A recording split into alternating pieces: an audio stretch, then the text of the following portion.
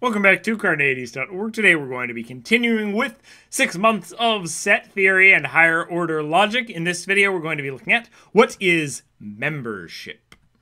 So, the simplest and most central symbol to set theory is the relationship between an element and a set. This is the membership operation. It is represented by this kind of curvy E symbol.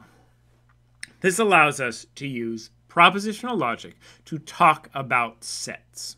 Unlike a proposition P, which has a truth value and so can be used with operations like or or and or implies or is materially equivalent to or negation, a set or an element does not have a truth value. It's not true that the set of all diamonds, or it's not true that the null set. They don't have a truth value, so we can't use them in propositional logic yet. It's not really a full statement, it's only part of a statement. To use set theory with logical operations, we need some kind of relationship between sets and other things. Membership is the most basic of these relationships. So, therefore, we're going to read X curvy ES as X is a member of S. We might say that my pet howler monkey is a member of the set of all animals.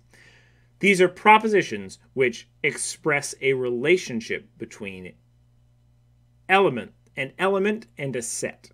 If the element is actually a member of the set, then the proposition is true. If not, it's false. If we define A the set A as Africa, Europe, Asia, then the proposition Africa is a member of A would be true. But the proposition Australia is a member of A would be false.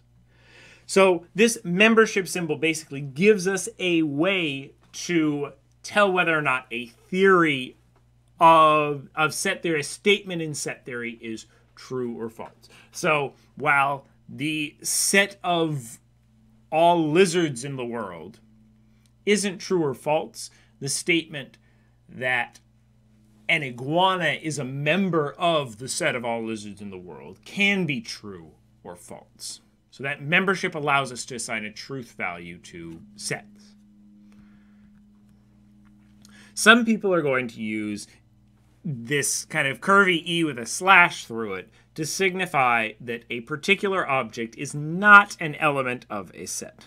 This does not need to be a new basic relation, since we're just going to define it in terms of membership. So anti-membership in terms of membership, or non-membership in terms of membership.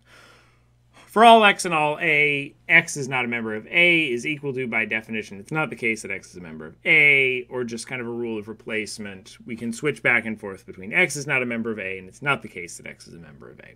We don't need a new basic relation that's importantly different. We're just negating our original membership statement. We're saying that when x is a member of a is true, then x is not a member of a is false, and vice versa. We're going to call this definition, because it will show up in proofs, the non-membership, definition of non-membership. Up next, we're going to look at ways to define a set. We're going to learn some more about notation, that vertical line we've been using.